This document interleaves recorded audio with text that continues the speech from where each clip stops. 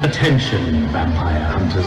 Take the two seats directly in front of you. Place all your bags and loose belongings into the coffins provided.